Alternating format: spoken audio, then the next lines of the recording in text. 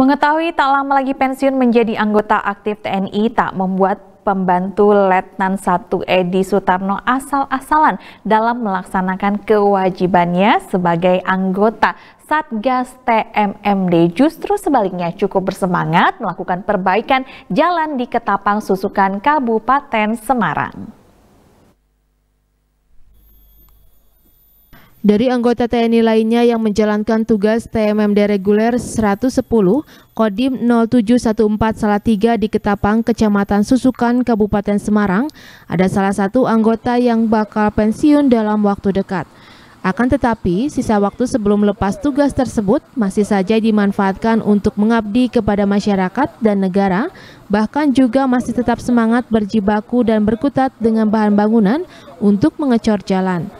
Ia adalah Peltu Edi Sutarno dari TNI AL yang ikut bergabung dengan TMMD reguler 110 Kodim Salatiga. Hanya saja saat ini memang ia ditugaskan di Kodim Salatiga.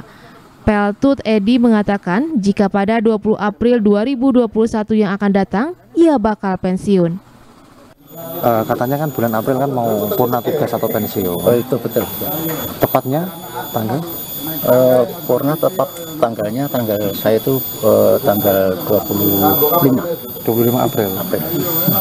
Kenapa kok sempat-sempatnya uh, bersedia ditugaskan untuk ke MMD padahal kan sebentar lagi mau pensiun. Uh, Bukan persiapan pemberkasan pensiun atau gimana?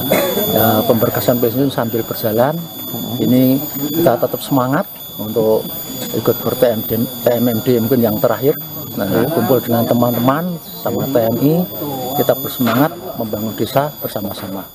Bahkan di usianya yang sudah 53 tahun, Peltu Edi ingin sekali menghabiskan waktu sebelum pensiun untuk bergabung dan berkumpul dengan anggota TNI lainnya dalam kegiatan TMMD tersebut.